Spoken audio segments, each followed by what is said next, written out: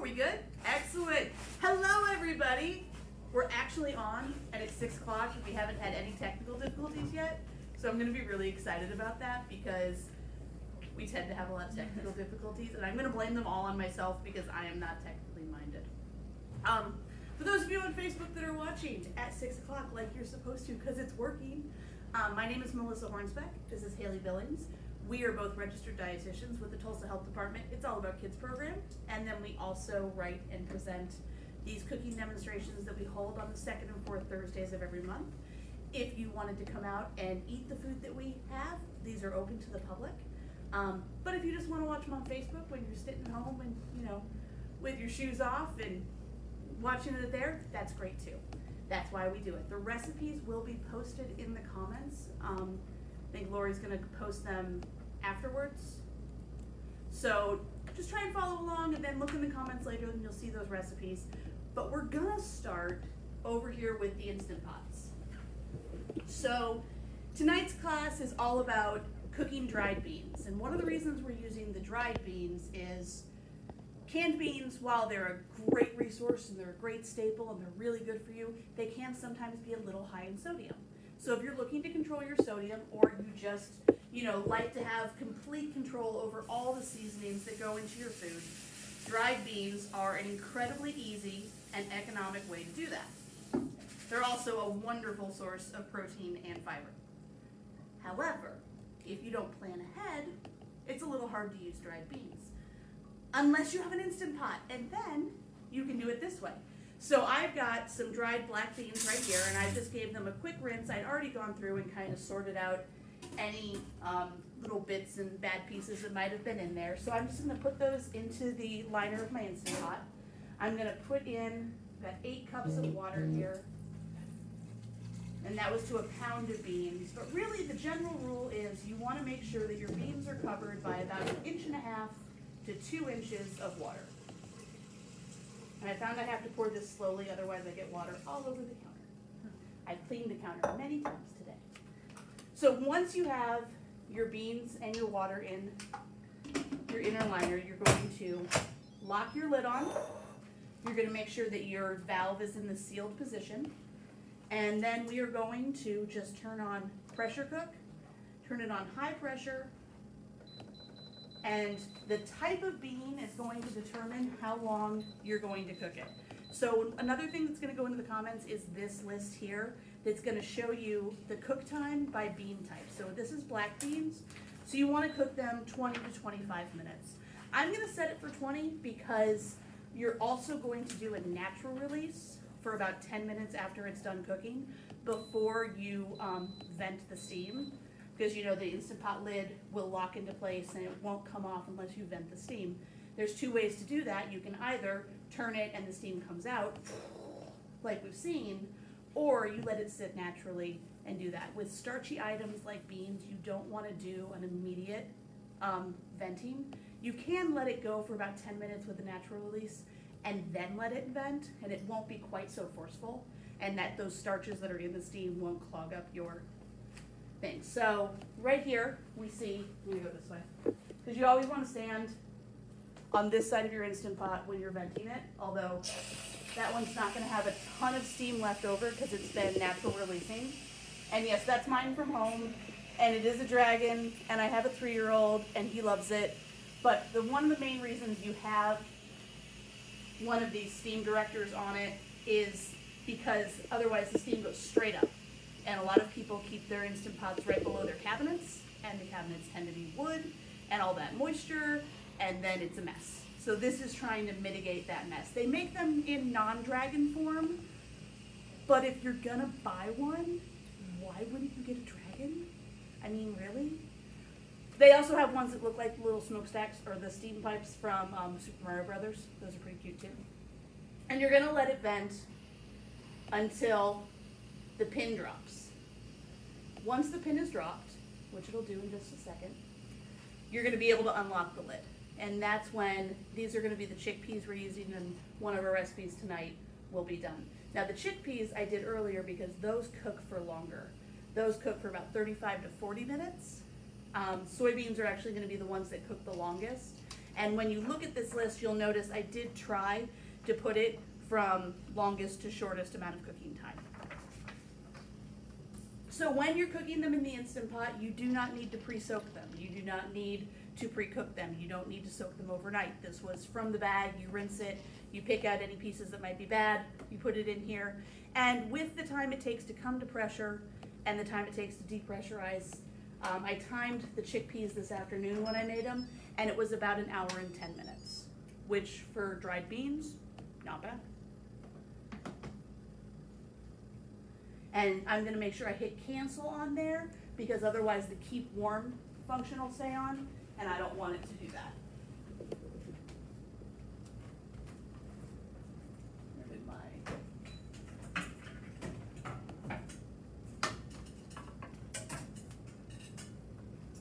So I am going, got to get out my, you're gonna wanna use hot pads for this, So for the hot. amount of water, Yes. you just follow the directions based on what it would be if you were doing it on the stove top, correct? Yes, you wanna make sure that you have at least an inch to an inch and a half of water above wherever your beans are. But you also wanna make sure that you don't fill the Instant Pot more than three quarters of the way full, because the beans are going to expand. And you don't want it to then get above that max line, which is the two thirds line. So I just went ahead and rinsed and, um, drained those. And I'm gonna let them sit here for a minute and cool down before we make that recipe. And I'm gonna start on a recipe using the black beans. So I cooked some black beans earlier, and those are. And those are in there, but, so those won't be done for another forty minutes. So through the magic of television, I've got these done here. And we're gonna be making some walking burritos. So in my skillet, I have some olive oil heating up, and I'm gonna put some yellow onion in there, and that's just one smallish yellow onion that I cut up.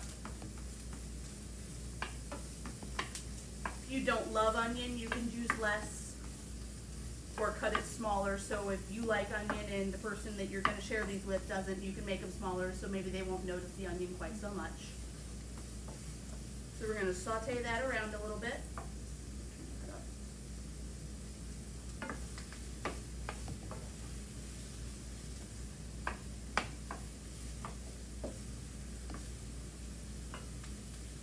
gonna put in my garlic. You're gonna use about a clove of garlic. Again, if you really like garlic, you can add more. You don't like garlic, you can add less. This isn't baking, so you can cook by your senses. Although I did, Haley and I were just talking about this before, I did measure my olive oil because as a dietitian, I do measure my fats that I put in. I don't really measure my spices all that much unless it's salt, just because I like flavor, so I like to amp up the flavor, and as long as it's not adding any sodium, any added sugar, um, any added fat, then play with your flavors. This would also be a good time if you're gonna throw in any other vegetables, like if you had Mhm. bell peppers Right. or something like that, then you'd wanna throw it in at this stage so that they're able to get cooked and That would be um, really soften good. up a little bit too. So when I wrote this recipe, I wanted to make this as basic as possible because, as I've mentioned, I have a three-year-old and he loves beans and he loves tortillas and he loves quesadillas. So I figured this was a good way to do that, but I found just using the beans and the cheese and the um, tortillas, it didn't have enough flavor. So I, that's why I added the onion because it adds flavor, but it doesn't add like something that he would be able to pick out and be like, you know, no, I don't like this. You know, unless it's Tuesday and then maybe he'll decide that. So then I just put in some chili powder and some cumin. And again, I do that kind of by feel, by smell. I put it in. I like things really cuminy. I think cumin's a great spice. So while I'm sauteing it, if I feel like I don't smell enough of the cumin, I'll add more probably drives my husband crazy because he's a chef, so he's very his flavor he, he's got a really good palate and his, his flavor combinations are really good and i'm kind of like i like this and I throw it in. So we've got those in so then i'm going to put in the rest of my beans. So i cooked a pound of beans earlier which gives you about four cups and i used two cups for the batch that we did earlier.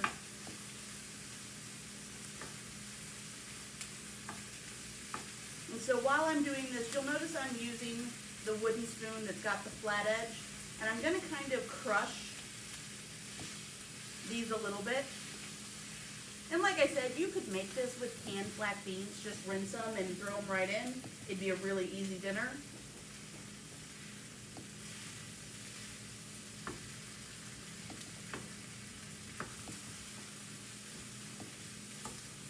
So once you have those kind of cooked through or heated through because they're already cooked. And all the flavors kind of melded into it. And about half of them smashed up. You're going to um, put them into the burritos. Thank you. So I call this a walking burrito because a lot of times um, a burrito is rolled and then you have to put paper around it and while you're eating it stuff falls out the bottom if you didn't roll it properly so i got this idea from the crunch wraps at taco bell so they have those that are folded up and they've got all the stuff and nothing falls out while you're eating it so i was like well why can't i just do that at home and you can so You do wanna make sure that you get a tortilla that's gonna be big enough to Yes. hold all the contents.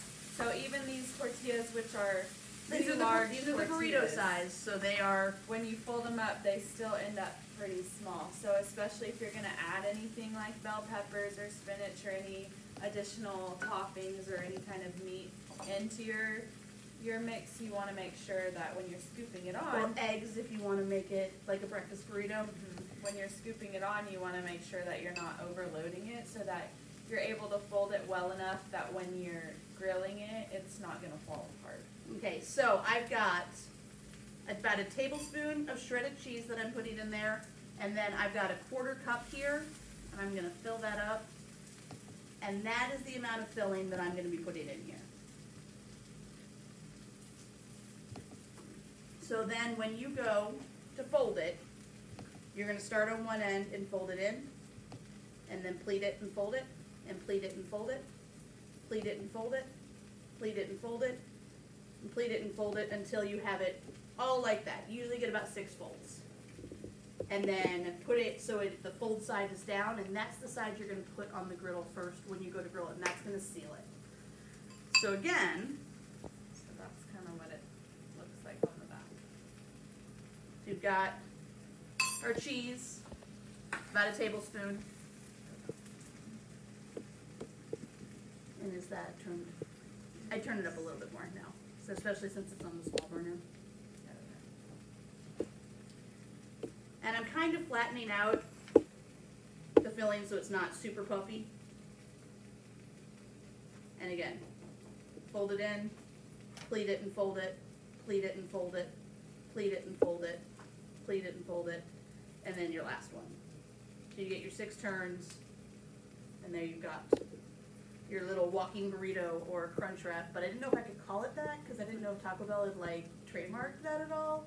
So, we'll call it a walking burrito, cause you can walk around with it and you won't spill it down your shirt. Well, I'd probably spill it down my shirt.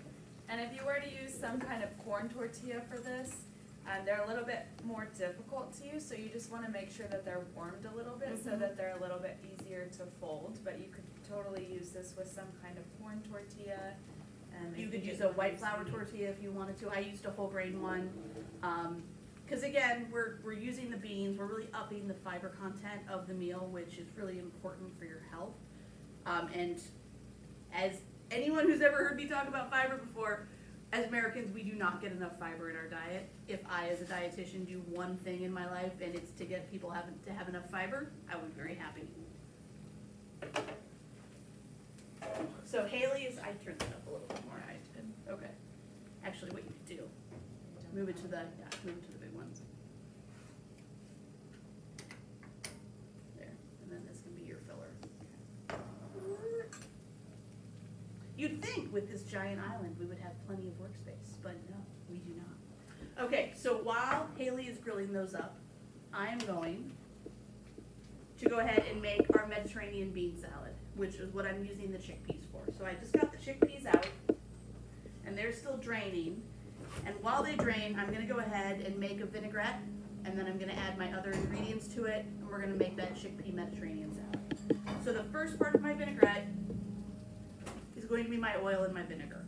And a basic vinaigrette ratio is usually three to one oil to vinegar. So I am going to put in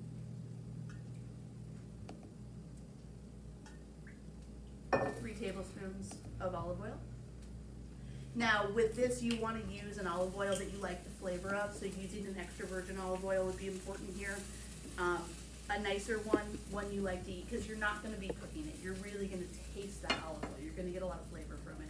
A lot of times, if you're going to be heating it, you could use just a straight, a not um, an extra virgin olive oil, just a straight up olive oil, which is probably better because it has a higher smoke point. Um, and you're not going to taste it quite so much. So. So I've got those in there, and I'm gonna add in a teaspoon of salt and two teaspoons of pepper.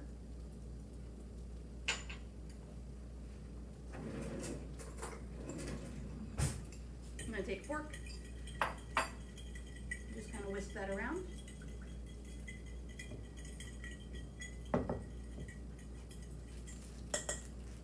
And then I'm going to add a pint of grape tomatoes that I have halved. If you have the time and patience and a really good paring knife, you could quarter them. I did not, so I have them, so that's entirely up to you. Or, I have this thing at home, it's a grape cutter, where you put the grape in, and you go, and it cuts it into four little pieces, because grapes are big choking hazards, and I've used it with these, and it works perfectly. But I forgot to bring it, so. But if you have one of those little grape cutters, it works great for tomatoes as well. And it's great to hand to a toddler under supervision because they can help you cut the things then that they get to eat. So getting them involved in the kitchen is always good.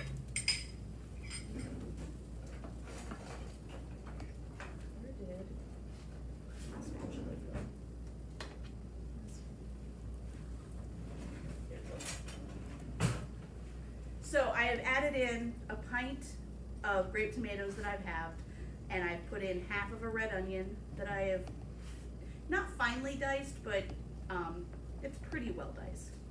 And then I've put in some fresh parsley, and if you have fresh oregano, like you grow it, or you can actually find it at the grocery store, that would be great to add.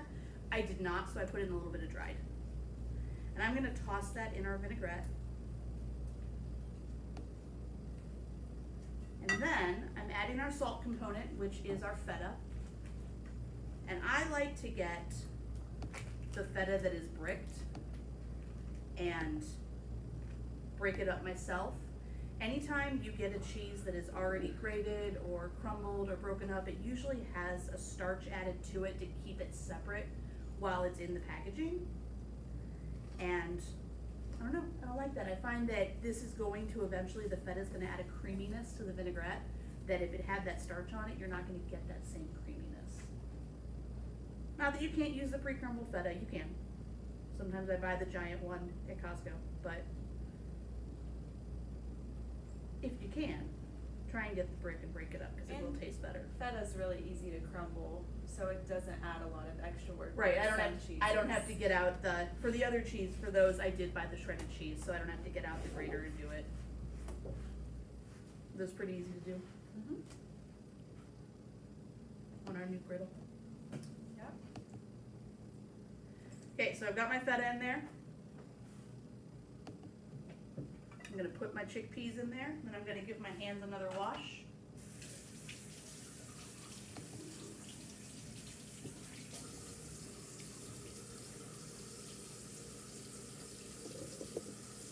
So one thing to highlight while she's doing that, we used these whole wheat tortillas.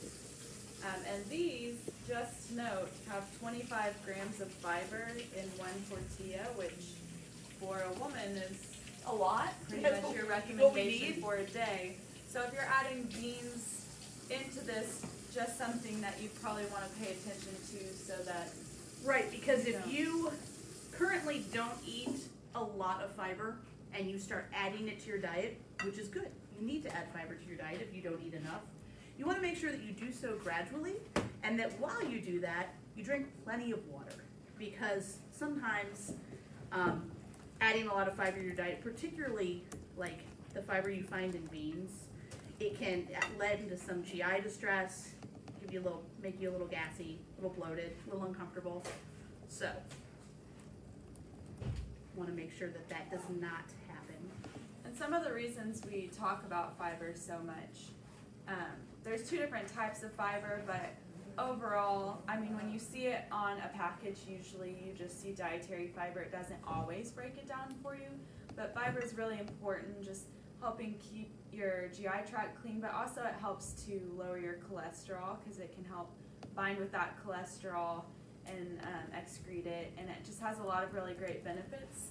And it's usually found in really any kind of plant Any plant will have it. Um, and so the way we describe it to the kids, because most of the time we're talking to kids, is that fiber comes in two forms. There's the broom and there's the sponge. So the insoluble fiber, the kind you're gonna get from your fruits and your veggies primarily, is going to be like the broom, and that's the one that's gonna clean out your insides and it's gonna help keep things moving. Um, and then everybody giggles when we say that. And then there's the sponge, and that's the one that's gonna help clean out your blood, and that's the one that's gonna help with the cholesterol, and that's the, that's called soluble fiber. And that's typically what we get from our beans, our whole grains, those kinds of products. So both are important, mm-hmm. both are necessary, and like Haley said, they don't usually mix them up on the nutrition label. It's usually Sometimes they do. some, if they're being extra, but they don't have to. They can, it's not like added sugar where they have to list it separately. But dietary fiber is just listed as Mhm. fiber. So you'll see I added the chickpeas there, and then I'm just mixing it around until everything gets coated with that vinaigrette that I made at the bottom.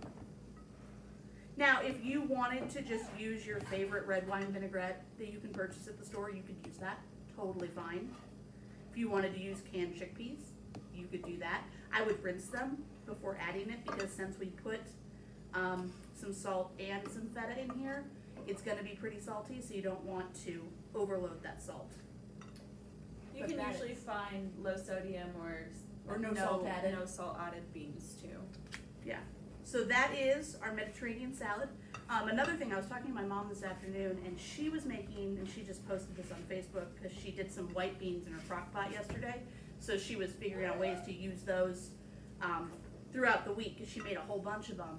And so she was talking about doing this type of salad, but adding cucumbers to it as well. So not just tomatoes, but having the white beans and the cucumbers. And you could do that as well. Like I said, this is the kind of cooking where you can add what you like, leave out what you don't, use what you have on hand, and it will all work out.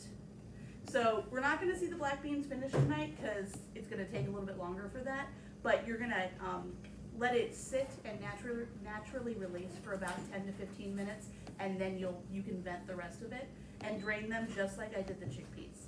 And that'll give you those black beans that you can use for a recipe like this, or any other recipe, toss it with some, um, fire roasted corn, and have on a taco, that'd be really good. Delicious. Yeah. So, do we have any questions at all, Lori? No questions? Okay. Well, like I said, Lori's gonna post the, um, recipes in the comments, and if anybody who's watching this later, not live, happens to have any questions, we do check those comments, so please let us know what you're thinking.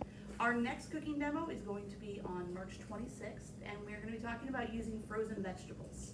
Um, a lot of times, it's the best way to get something out of season, or if you just need to use a little bit, they're a great way to add vegetables to your diet. So that's what we're gonna talk about next time, and we hope to see you then.